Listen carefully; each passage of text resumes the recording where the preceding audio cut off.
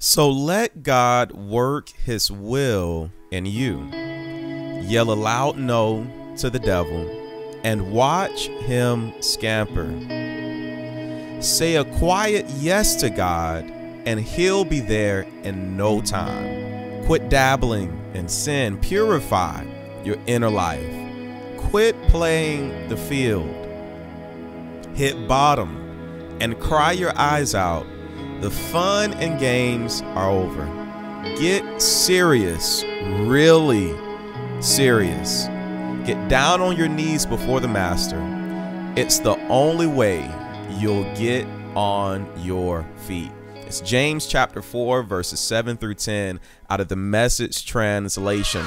Good morning to all of you thriving people of God. My name is Pastor Enrique Brooks, and welcome to the Prayer 365 podcast, where we are on a mission to transform lives through a lifestyle of prayer. What a wonderful way for you to start your day, holding fast to your commitment to praying. And we believe at Thryve, a church that prays together is a church that will indeed thrive together.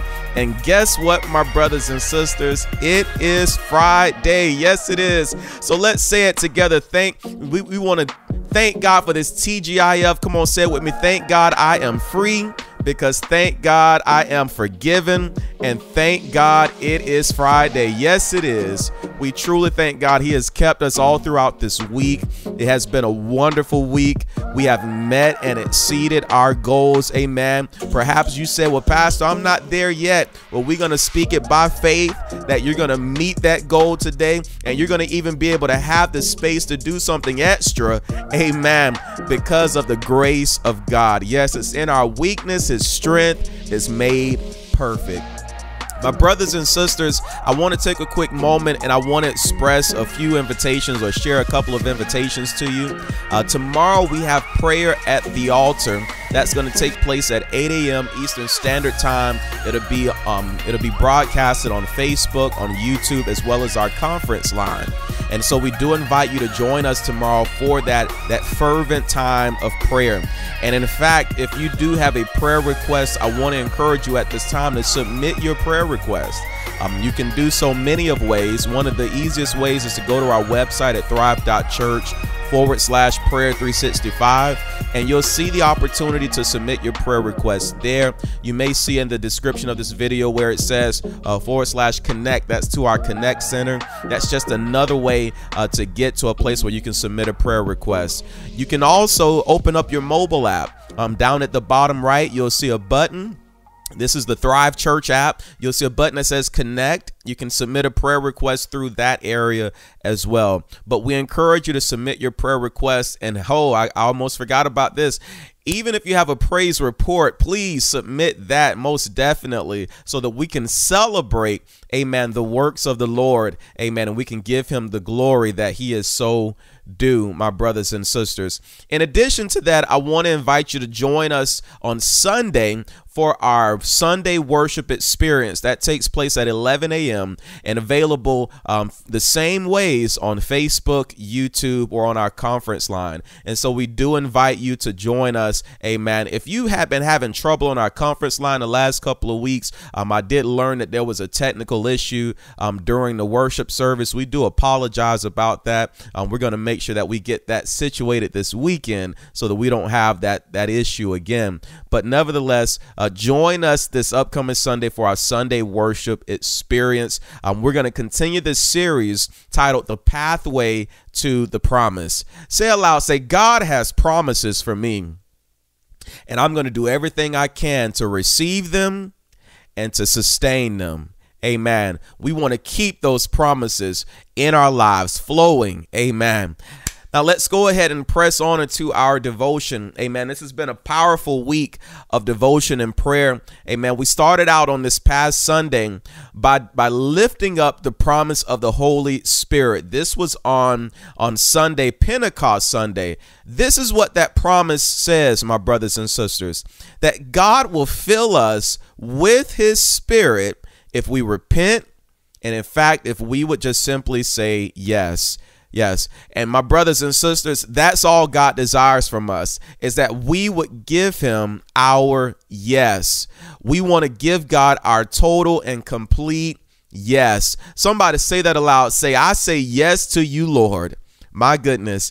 And so, really, what we've been leaning in all this week is knowing that the promise of the Holy Spirit just requires a yes. We've been focusing on this week what happens when we say yes. What happens when we say yes to God. And my brothers and sisters, understand that the yes is simply a principle of this that our complete and consistent commitment to God, it prepares us for the promise and keeps us in his promise. Amen. When we say yes to God, our complete and consistent yes, yes, it is a commitment to him that prepares us for the promise and keeps us in the promise. Now, my brothers and sisters, throughout this week, we've looked at looked at four areas so far as far as what happens when we say yes. The first thing that we looked at is on Monday, we said that when we say yes, it creates consistency. Yes, my brothers and sisters, when we tell the Lord yes, it creates consistency. Absolutely. That means that we're not we're not in one place one day and one place another. We're not one foot in and one foot out. No, we are committed. We are consistent in in the things that we are doing for God as well as those things that we're doing through God or God is doing through us. Amen. We create consistency. On Tuesday, we declared that when we say yes, it produces power. Yes, for for so many of us we've been trying to remain remain standing in our relationship with him or standing period. Amen. But it seems like we get knocked down so much. With my brothers and sisters when we say yes to god it gives us that supernatural power to be able to stand. It produces power. And then wednesday we declared that when we say yes it causes consecration and understand that saying yes to God means that we, we are saying no to everything else. My goodness. That means that I'm saying no to the things that I used to dabble in, as James quoted, uh, talked about it, amen, in the scripture that we quoted, amen, our focus scripture for the week. Um, that means that we won't we won't be straddling the fence, my brothers and sisters. That means that that means that we get serious and fully committed in our relationship with God. It causes consecration. I all of a sudden now start walking in the holiness of the requirement that God requires of each of us. It causes consecration. And then yesterday we looked at, amen, the the, the I, I quoted this this incorrectly yesterday, and please excuse me. Amen. There was a there was a man at the pool of Bethesda. Amen. And when he was there, my brothers and sisters, Jesus approached him. He had not been able to pick himself up and and get in the pool because they believed that when the angel would come and stir up the water, amen, that it would be infused with healing power. Amen. But Jesus looked at him and said, "Do you want to be well?" And then after that, the man gave an excuse, but then Jesus, or he gave a he gave a response, but he didn't necessarily say yes or no. Jesus looked beyond that and saw his desire, and what did he do? He told him to get up. Oh yeah, and when he told him to get up, that man had a decision to make. Was he going to say yes and get up, or was he going to say no and make up an excuse or, or repeat what he said before?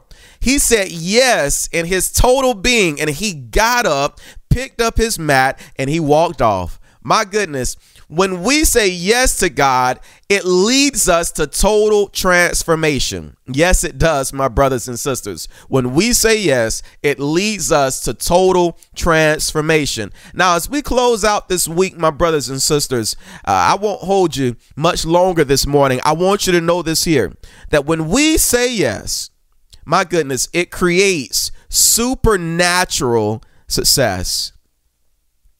When we say yes, it creates supernatural success. Well, Pastor, what do you mean by this? Well, when I looked at this, I immediately reminded or was reminded of that widow, amen, that that approached Elisha the prophet back in Second Kings chapter 4. And her husband had passed away, it was one of his servants. Amen. And here it is. Um, he, Elisha wants to know, well, what do you what do you want me to do? What do you have? What can I do for you? Because here it is, the debtors or the debt collectors, I should say, were ready to come and take her sons. Oh, yes. And so now here's what he tells her to do. He says, Go and get pots, borrow them from all of your neighbors because all she had was a little oil in the house. He said, Go get pots from all of your neighbors. Get as many as you can. Don't, don't get just a few. And so at that point, and then, excuse me, he told her, he said, then pour that small jar, jar of oil inside of the big the big jars or the big pots. That's what he told her to do. Now, here's what's so amazing about this. She had an opportunity to say, um, Elisha, a uh, uh, holy holy man of God, listen, understand, I hear what you're saying, but um, what you're talking about is crazy.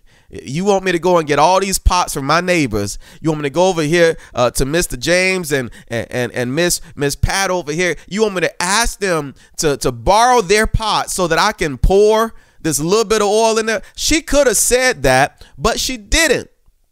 What did she do? She obeyed exactly what he said. Sister, Sister Bonnie, you lifted it lifted this up yesterday. Really, when we say yes, that that is obedience to what God is requiring of us or what he is instructing us to do. This woman said yes with her action. Yes, she did. And when she did this, she had her sons bring her one of those pots. And every time he brought her one, or one of the sons brought her one, she poured the oil. And that which was little, hallelujah, it became endless. It continued to flow until she had filled up every pot that was there. My goodness, hallelujah. I thank God, my goodness, because what it shows us, my brothers and sisters, is that when we say yes, what we do is we tap into the endless resource of heaven. When we give our consistent yes, it gives us access to the endless resources of heaven. My brothers and sisters, perhaps you've been you've been focusing on the little that you have. Perhaps you have not understood the concept that little in the hands of the Lord becomes much. Well, you see what happens is when we when we grab a hold of a concept, God gives us an opportunity to take that from concept into experience. He wants us to experience it, but what do we have to do? We have to trust Him with our little. We have to give Him our yes. And when we give Him our yes, understand we tap into the kingdom, we tap into the endless resources of the kingdom of heaven, and we are able, my goodness, to experience the overflow that comes from God. Now, what's so beautiful about this is that when, when she finished doing what the prophet told her to do, when she gave him a full yes, when she gave God through the prophet a full yes, here's what he told her to do. He said, Take all of it, sell it, and then live off, pay off all your debt, and you and your sons live off of it. My goodness, because of that yes that she gave, it led them to supernatural success. My brothers and sisters, what success is waiting on your yes? what success is waiting on your yes? What's waiting on you to give God a yes? What uh, what success? What uh, what what what transformation? What business is going to blow up because you gave God your yes? My goodness. What how is your ministry going to change when you give God your yes? My brothers and sisters, it's all about giving Him our yes. We know that it's going to create consistency, it's going to produce power, it's going to cause consecration, it's going to lead us to total transformation, and it's going to create supernatural success when we say Yes. I want to pray for you on this TGIF Friday because I believe, my goodness, that all this week as you have been practicing saying yes to God, that this won't stop here, but it's going to follow you throughout the rest of your life. It's going to transfer from generation to generation. God is going to raise up, my goodness, a generation that will obey Him, a generation that will say yes. Father, we give you praise and honor today. Father, we glorify your holy name because, Father, you are indeed good and your mercy endures forever. Father, we pray right now, Father, that you would forgive us of our sins, forgive us for every time we said no, forgive us for every time we walked away. And Father, we know that when we ask you for forgiveness, you're faithful and you are just to forgive us and to cleanse us of all unrighteousness. And God, we praise you for that. And Lord, right now, as we close out this week of prayer, Father, it is our ask that, Lord, we would experience, my goodness, that supernatural success that follows our yes. Father, we won't give you a yes only when we want something from you, but Father, we'll give you our yes, my God, because you are good. We will give you our yes because you are great. Father, we give you our yes because you love us so much. Father, we give you our yes because you have purpose for our lives. Father, we give you our consistent and complete yes. And Father, we believe, my God, just like that widow tapped into the limitlessness of heaven, that Father, we will reach, my God, we will receive the limitless resources of heaven when we say yes to you. Father, we declare supernatural success over my sister, supernatural success over my brother, supernatural success over their family, over their marriage, over their business, over their children. Father, we declare supernatural success over that ministry, over that pastor, over that believer. Father, we declare it over their lives, God, in the mighty name of Jesus. And as we close out this prayer, we pray the way that Jesus taught us to pray, and we say, Our Father, who art in heaven, holy is your name. Thy kingdom come, thy will be done in earth as it is in heaven. And Lord, give us this day our daily bread and forgive us our debts as we forgive our debtors. Father, lead us not into temptation, but deliver us from the hand of the evil one. For yours is the kingdom, the power, and the glory forever. And all of God's children say, Amen. God bless you all. My name is Pastor Enrique Brooks of Thryve Church, and I thank God for you being here with us today. Remember, God did not make you to just get by, He didn't make you to just barely make it, nor to struggle or strive, but God created you to thrive. So you go forth, transformed because of the lifestyle of prayer, because of your yes. I love you. I'll see you tomorrow at 8 a.m. Eastern Standard Time for prayer at the altar. God bless you. Bye bye.